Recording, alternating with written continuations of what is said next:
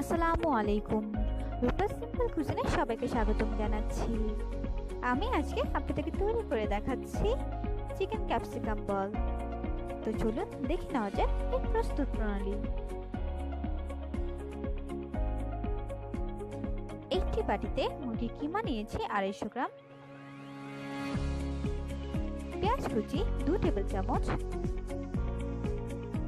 Capsicum অর্ধেকটা ছোট আকারে আমি কুচি করে নিয়েছি।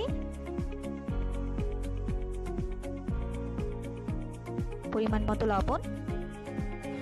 মরিচ ডালা চা চামচের চার ভাগে তিন ভাগ। গোলমরিচ গুঁড়ো চা চামচের তিন ভাগের এক ভাগ।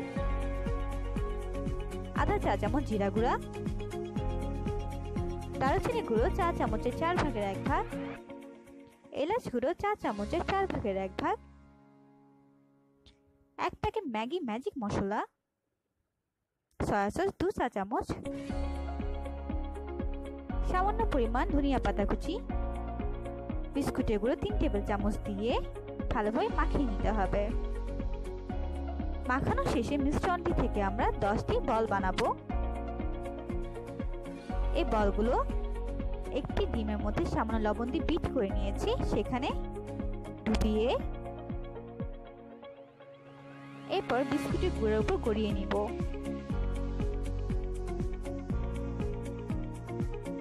বলগুলো বানানোর শেষে আমরা ফ্রিজে রেখে দিব পনেরো মিনিটের জন্য। পনেরো মিনিট পরে আমরা ডুবো তেলে বলগুলো ভেজে নিব। তেল গরম হয়ে গিয়েছে।